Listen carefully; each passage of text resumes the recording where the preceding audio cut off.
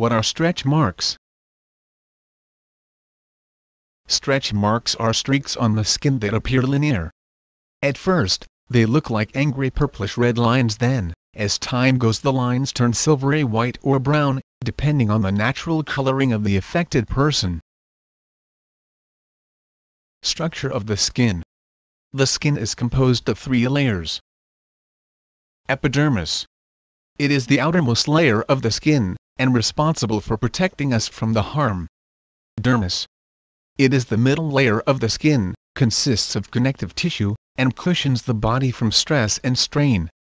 Hypodermis. It is the last and the deepest layer of the skin.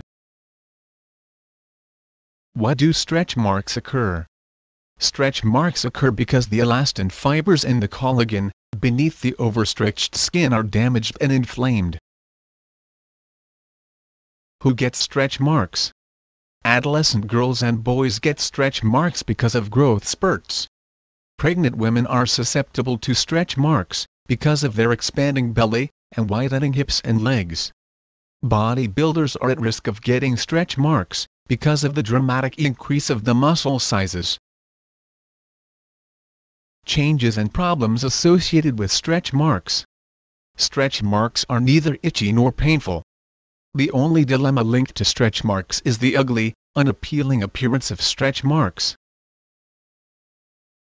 Home remedies for stretch marks. Potato juice. Sugar. Olive oil. Cocoa butter. Stretch marks treatments.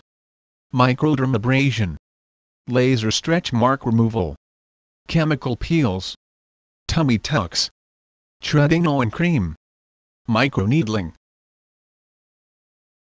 Ways to prevent stretch marks. Stretch marks can be prevented in a number of ways. Keep your weight on a healthy scale. Exercise and a healthy diet are your tools for maintaining the desired weight. Hydration is your number one all-natural weapons against stretch marks. Exfoliation is another popular and easy method of keeping stretch marks away. Please see the link below to know more about stretch marks and details.